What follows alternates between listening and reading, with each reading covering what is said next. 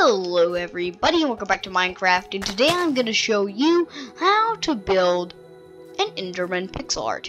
So you're going to need some black concrete, gray concrete, purple concrete, and magenta concrete. So you can start off with two of your black concrete and then one gray concrete, three more, and then one more gray, so like that, and then two more. So it should look like this as your base and then you can upgrade that or, like put it up one more a little bit uh, sort of like that and then put it over. And then this is around where you want to put your eyes. So something like this. And uh, yeah. And uh, yeah that's uh, most of it. And then you can put some gray there.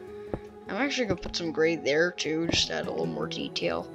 And then and then you can put two more layer or two more or like uh, yeah three more layers on top of that. And then you can add one more right there in the middle.